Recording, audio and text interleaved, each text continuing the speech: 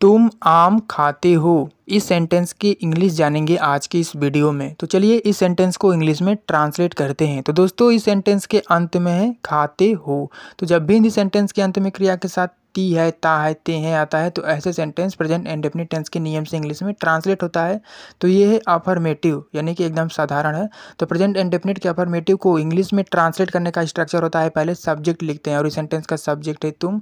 तो पहले हम लिखेंगे तुम की इंग्लिश यू उसके बाद हम लिखेंगे वर्ब वर्ब इसमें खाते हुए, यानी कि ईट अब यहाँ पे देखिए ईट के साथ यस या यस नहीं लगाना है। जब सब्जेक्ट यू रहता है तो उसकी क्रिया में यस या यस नहीं लगाते हैं।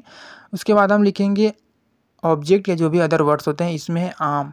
तो ईट के बाद लिखेंगे मैंगोज या फिर आप ए मैंगो भी लिख सकते हैं, या फिर आप इसको प्लूरल भी बोल सकते हैं, क्योंकि ये आदत को भी बताता है। तो मैंगोज ही लिख दीजिए, सबसे अच्छा रहेगा। यू ईट मैंगोज क्या तुम आम खाते हो कि इंग्लिश यू ईट मैंगोज यदि यही सेंटेंस नेगेटिव हो, जैसे कि तुम आम नहीं खाते हो तो नेगेटिव सेंटेंसेस को बनाने के लिए डू या डच का प्रयोग करते हैं, और डू या डच के बाद नॉट लगाते हैं, जैसे कि तुम आम नहीं खाते हो कि English? You do not eat mangoes you do not eat mangoes और यदि यही सेंटेंस इंटरोगेटिव हो मतलब कि यदि सेंटेंस होता है कि क्या तुम आम खाते हो? तो देखिए जब क्या स्टार्टिंग में होता है तो क्या की मीनिंग नहीं लिखते हैं।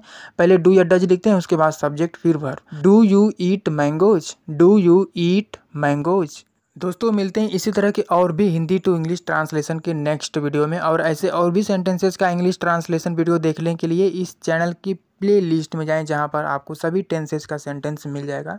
और चैनल पर नए हैं तो चैनल को सब्सक्राइब कर लीजिए, ताकि आगे भी आपको ऐसे ही हिंदी टू इंग्लिश ट्रांसलेशन की वीडियो मिलती रहे।